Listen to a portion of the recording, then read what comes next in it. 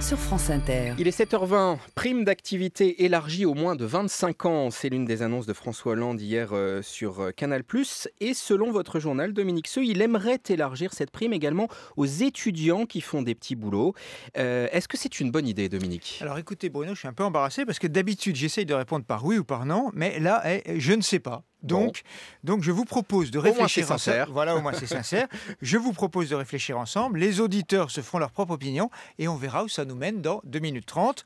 Alors, de quoi s'agit-il? Le gouvernement va fusionner la prime pour l'emploi, euh, la PPE, et le revenu de solidarité active, le RSA, pour créer la nouvelle prime d'activité. Opération simplification, très bien, bravo. Puis Premier début point. mars, Manuel Valls a annoncé que cette prestation bénéficierait aussi aux moins de 25 ans qui travaillent. Alors ça, c'est un tournant parce que depuis 1988 et la création du RMI, les jeunes en étaient exclus.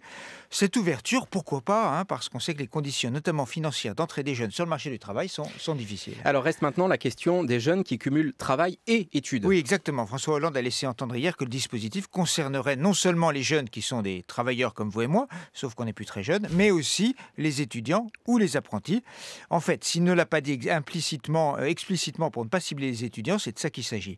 Alors à partir de là, c'est un débat politique, intellectuel absolument passionnant qui s'engage. L'argument pour, c'est le suivant. Il faut aider les étudiants qui travaillent, les pousser à travailler, valoriser le travail en faisant en sorte qu'il soit rentable. L'idée, tout simplement, c'est de couper le mur de Berlin entre études et travail. Dans nombreux de pays, les étudiants travaillent en parallèle de leurs études. Concrètement, il s'agit aussi de, de donner un coup de pouce aux jeunes qui ont du mal à financer leurs études et qui sont surveillants dans un collège ou qui font euh, euh, 10 heures de travail chez McDo. Voilà les arguments pour, mais il y a des arguments contre assez forts aussi. Oui, que l'on susurre d'ailleurs, y compris au sein du gouvernement et chez les députés. Euh, c'est pour ça d'ailleurs que, que tout est loin d'être calé. Le premier argument, c'est qu'il n'y a pas tant d'étudiants que ça qui ont vraiment du mal à financer leurs études et donc aider les autres euh, que les familles peuvent prendre en charge, ça coûte cher et il n'y a aucune raison que la collectivité fasse, fasse le tiroir caisse. Pour ceux qui ont des difficultés, vaut mieux alors euh, jouer sur les bourses, entend-on.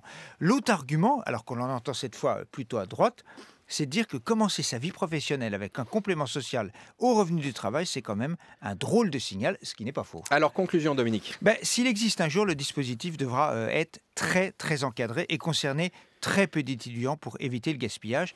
Ajoutons, et on- ça va susciter des réactions, qu'un examen à l'entrée de l'université permettrait de s'assurer de la motivation des étudiants et justifierait sans doute une aide au travail. C'était l'édito écho de Dominique Seux. Il est 7h23.